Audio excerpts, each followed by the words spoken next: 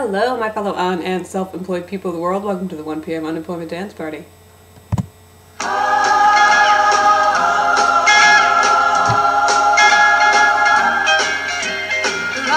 around the Christmas tree at the Christmas party hop.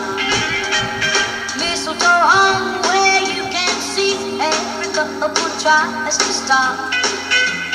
Rocking around